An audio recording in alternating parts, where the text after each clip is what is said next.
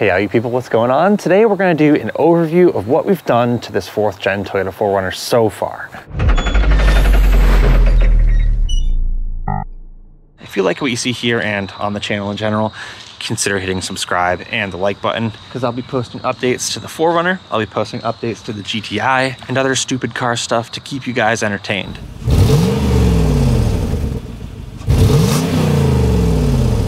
A little overview of this fourth gen. It's a 2006 Sport Edition with the 2UZ-FE 4.7 liter V8 engine, and currently it's at about 156,000 miles. So this is actually my girlfriend's 4Runner. I have 4Runner in my blood, so I've become a little invested in her 4Runner.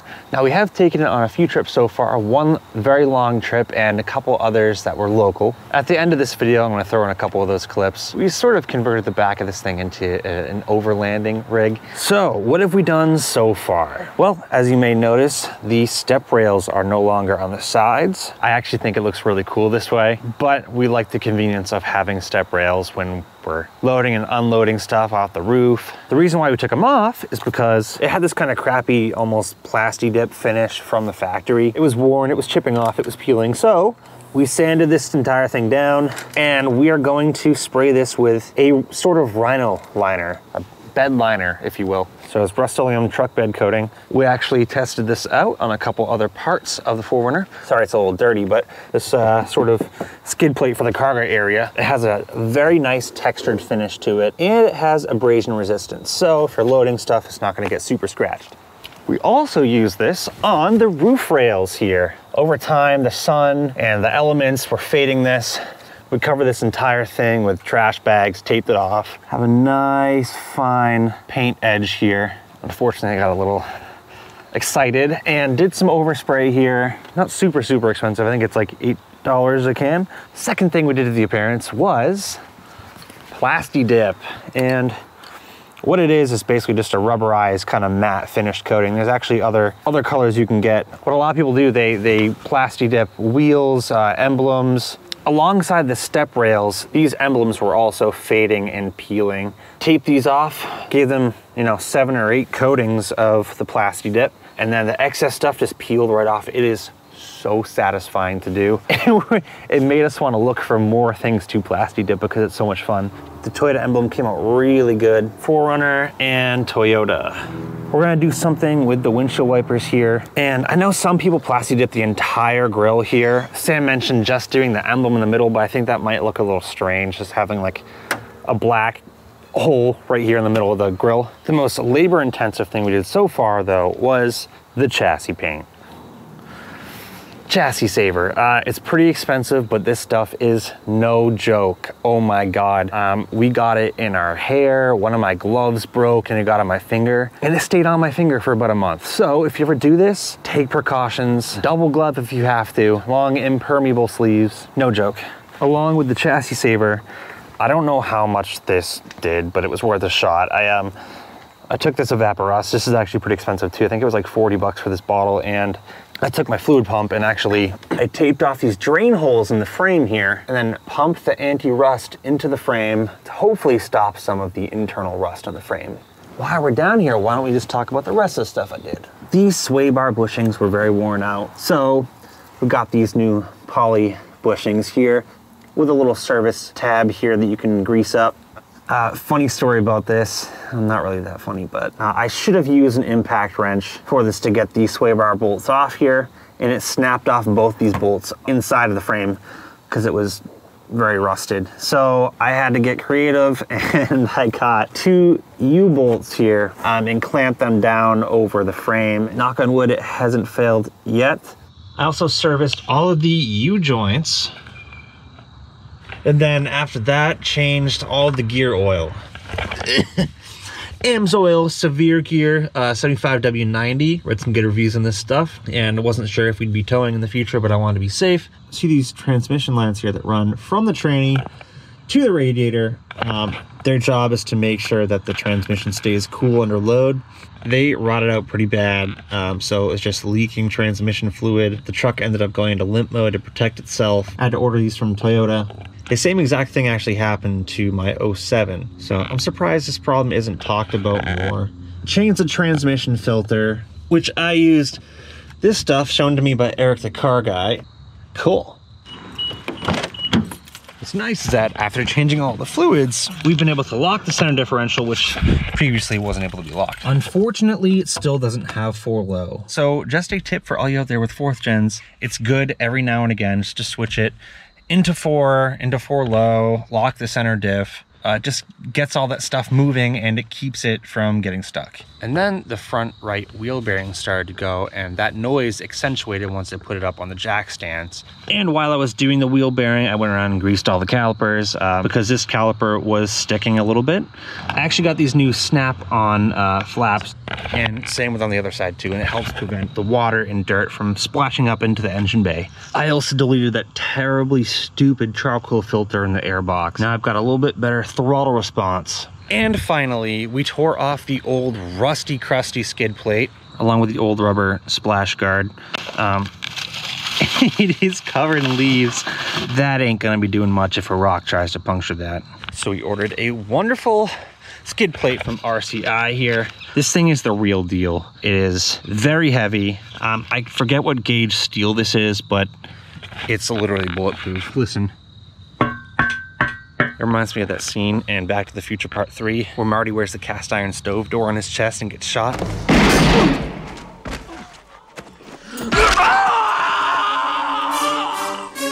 And he's fine. Unfortunate thing about this is that uh, one of the old bolts from the skid plate broke off where it mounts on the subframe there. And then I tried to use an extractor set from Bosch and I broke the extractor set inside of that bolt. So I don't know, I've been trying to figure that out. If you have any tips, let me know because we want to get that skid plate on before winter. So for the most part, that stuff is just pure maintenance related stuff that need to get done, but we still have a few more things planned for the 4Runner.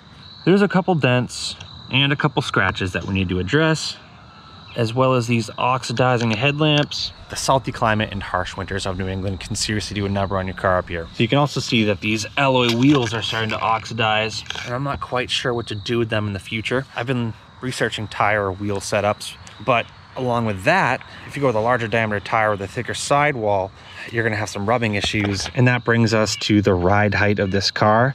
Very common upgrade for the fourth gens. They are heavily raked from the factory. It's like an inch and a half to two inches less wheel gap in the front than in the rear. The suspension does need a refresh. So we've been looking to some Bilstein, Bilstein, Bilstein lift kits for the car on the less expensive end of it, of course, which would easily address the ride height and the ride quality issue. On that note, we would also be replacing this X-REAS oil vectoring system here, which I guarantee would be the next thing to break underneath this. We want to get some sort of cargo rack for the top. Sam and I love the aggressive look of that. And finally, the biggest undertaking of getting this whole thing sorted out would be the infamous cracked exhaust headers on the 2UZ-FE So that's gonna have to change. We've been looking into the Doug Thorley long tube headers. Heard great things about the quality of those and we'd probably just go catless. So as of now that is that. I'll keep you all updated on this thing because it's definitely worth the time money and energy to get this thing sorted out. And now i will leave you with some video clips of failed adventures in the past. Enjoy those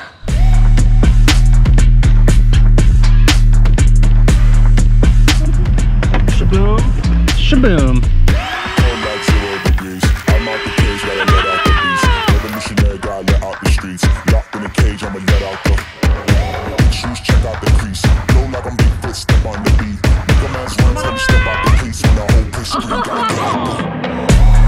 Bob, I don't know what, what could be better than this right here.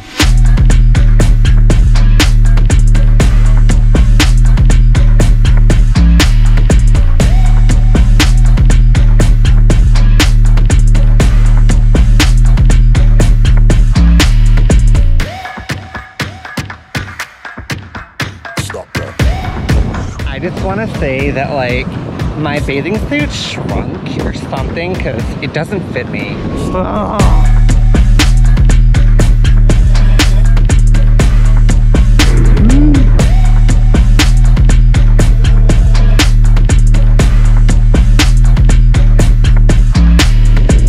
So what I just realized is that I accidentally went into the waves with my phone in my pocket. If you guys don't see any of the footage that I took on my phone, that's the reason why.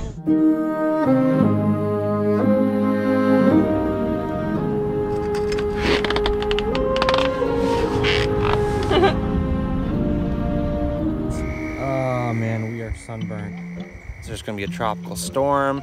It's gonna hit basically right where we were gonna go off-roading. So maybe get a hotel tomorrow night? Maybe, because we deserve it after all this upset.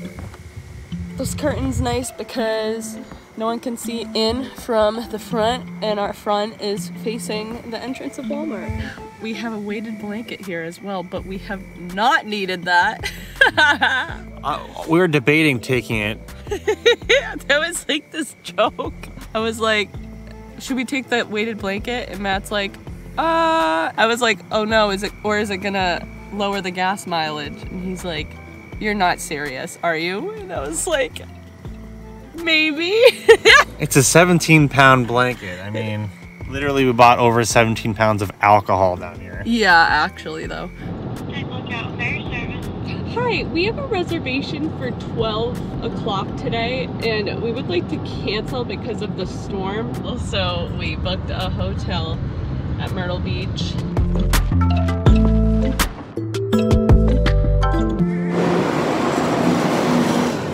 Hotel itself is nice, but the residents are anything but model citizens. Police. It's raining and it's kind of chilly. Hey, do you guys want to know an awesome way to look skinnier on the beach? Because I do too. Yeah!